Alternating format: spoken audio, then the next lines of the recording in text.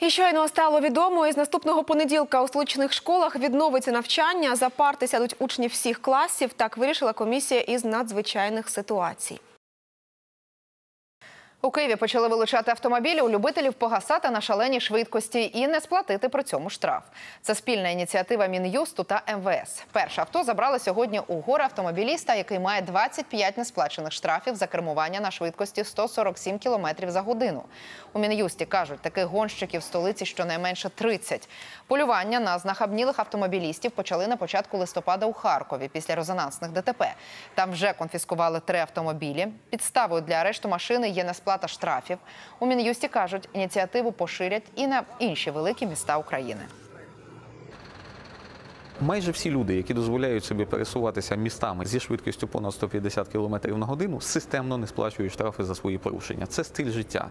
Це стиль життя, за якому люди собі дозволяють все. Вони можуть їздити з шаленою швидкістю у нетверезому стані, е, збивати насмерть людей. Вуличне мистецтво чи вандалізм Київ буквально весь обписаний графіті. Йдеться не про мурали, а про недолугі написи на фасадах. Особливо боляче, коли поплюжать історичні будівлі.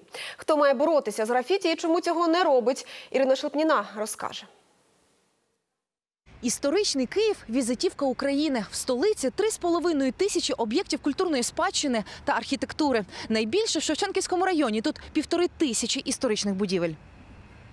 Але чимало з них потерпають від якогось нашестя вандалів, які поплюжать фасади будинків. От, приміром, центральна вулиця Києва, Велика Житомирська. Тут немає жодного необмальованого будинку. Історична магістраль міста, яка зберегла колорит старого Києва, вулиця Коридор, що веде до Михайлівського Золотоверхого, пейзажної алеї та Андріївського узвозу. Тут щодня екскурсії, в тому числі для іноземних туристів. Це один з можливих маршрутів. Мені вона дуже подобається. Вона просто шедевральна. Е, Це е, справді вулиця, в якій немає будинків, в якій нічого не ставалося. Тут жив легендарний академік Євген Патон, художник Микола Прахов, перша дружина Михаїла Булгакова. Будинки з фантастичними барельєфами, декоровані чудернацькими горгульями, левами та зображенням святої Агнеси. Я скажу российскую. Я просто в бешенстве. В центре города вот какие-то безобразные дома, что-то исковерканные фасады. Подібна ситуація по всьому історичному центру Києва. Те, що в мене за спиною, це не є об'єктивно, це не є мистецтвом, це є нічим іншим як вандалізм, як псування міського комунального майна, тобто майна платників податків. Відмивати столицю від графіті взялися четверо активістів міського руху Києве мій, які за власної ініціативи захотіли зробити Київ чистішим. Застосовували спеціальну потужну мийку з високого тиску з гарячою водою, застосовували багато хімії, застосовували вишку, щоб змивати з висоти 3-4 метри графіті. Вже більше ста місць в Києві стали гарнішими, чистішими завдяки нам. Активісти розповідають, першими, хто був незадоволений їхньою ініціативою, стали комунальники Шевченківського шеу, які замість подяки навіть поліцію викликали. Парадоксально, але на тій самій вулиці Велика Житомирська в пам'яті архітектури 19 століття розмістився столичний департамент житлово-комунальної інфраструктури, фасад якого самі чиновники ігнорують, ані змивають, ані фарбують. За роз'ясненнями, чому влада закриває очі на вандалізм пам'яток архітектури, ми звернулись в департамент благоустрою. Там від спілкування з пресою відхрестились і дали вказівку коментувати підрозділу комунальному підприємству, в посадових обов'язках яких складати протоколи про адмінпорушення. Ми взагалі нікого не штрафуємо. Порушення ми лише фіксуємо. За цей рік КП «Благоустрій» на весь Київ з сотнями тисяч будівель склав аж 20 протоколів. І причина цьому – паперова бюрократія. Просто неймовірно, як молоді люди 21 століття пристосувались до бюрократичної системи роботи зразку Радянського Союзу. Коли уся діяльність комунальника зводиться до нескінченних складань протоколів і приписів, які все одно ніхто не виконує. І навіть мізерний штраф до 1700 гривень, який мав би сплатити власник будівлі за розмальований графіті фасад, мало хто сплачує. Бо спочатку власник має підписати, що згоден з приписом комунальників. Людина має визнати, що вона винна. Цей припис відпрацьовано. Далі знову потрібно вручати припис і так от по колу. Волонтери, які за власний кошт і за гроші донатів відмивають столичні будівлі, звернулись до мера Києва Віталія Кличка. Показали йому цінник на придбання мийки в 100 тисяч гривень, а він дав гроші зі своєї кишені. Профінансував е, купівлю е, мийки, е, з якою ми почали мити ще більше, ще краще.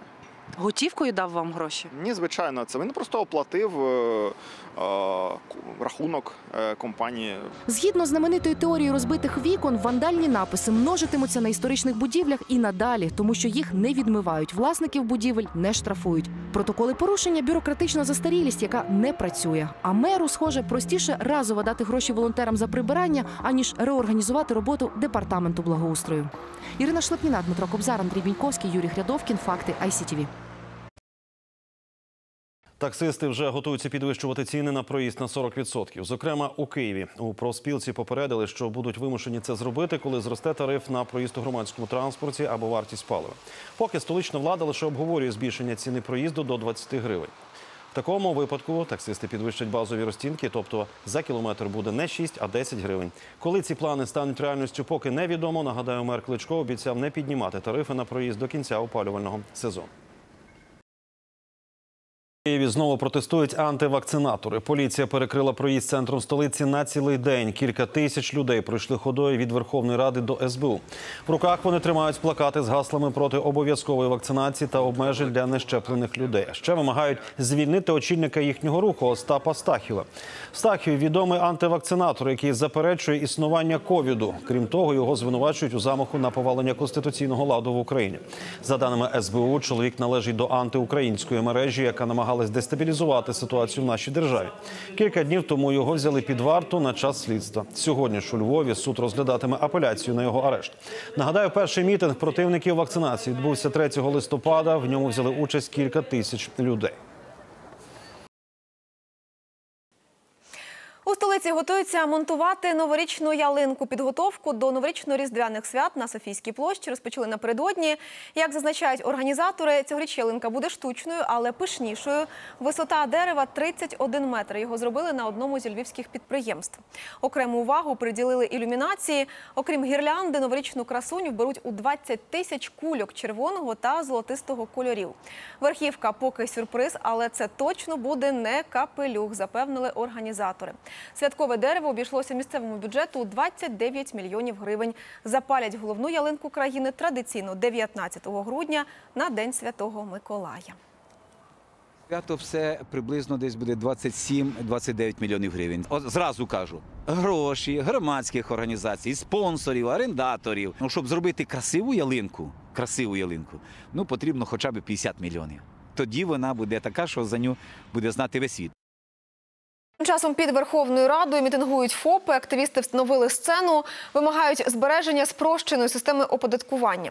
Біля парламенту багато представників поліції та Нацгвардії. Перед початком роботи вибухотехніки перевірили територію, вибірково оглядали речі учасників акції, просто перехожих. Ретельніше перевіряли і самих депутатів. Урядовий квартал перекритий, непроїзні вулиця Липківська від Грушевського до Інститутської, а також вулиця Садова. Неподалік парламенту стоять автобуси та броньовані машини. Нагадаю, сьогодні ввечері громадські організації анонсують велику акцію протесту на Майдані. Активісти вимагають звільнити керівництво Офісу президента Андрія Єрмака та його заступника Олега Татарова, а також не допустити здачі національних інтересів. Організатори запевняють, протест буде мирним.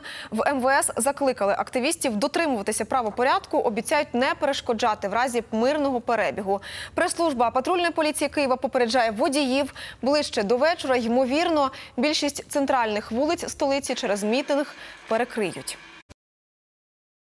Сьогодні ввечері на Майдані Незалежності зібралися 5 тисяч людей. О 19-й розпочався мітинг, присвячений подіям 1 грудня 2013 року.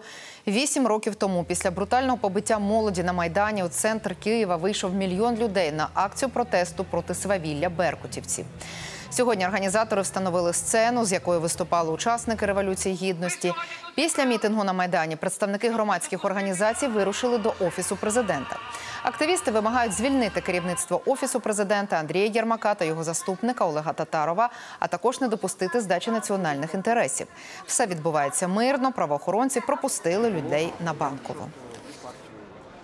Акція була анонсована 21 листопада під час е, вшанування початку під час шанування Дня свободи і гідності. Ми анонсували акцію на 1 грудня. Ми маємо право на мирний процес. Наша акція законна. Ми подали заявку. Ми не плануємо жодних силових дій. Вартість проїзду в столичному громадському транспорті таки зросте в березні по закінченні опалювального сезону. Мер Києва Віталій Кличко зазначив, влада планує встановити такі тарифи для киян, які мають картку киянина 12 гривень, для жителів Київщини 14, для туристів 20 гривень за одну поїздку. Нагадаю, картку киянина можуть отримати ті, хто має київську реєстрацію чи офіційно працевлаштований у столиці. Це можна зробити в Ощадбанку. Для пільговиків вона безплатна, для решти 120 гривень на рік.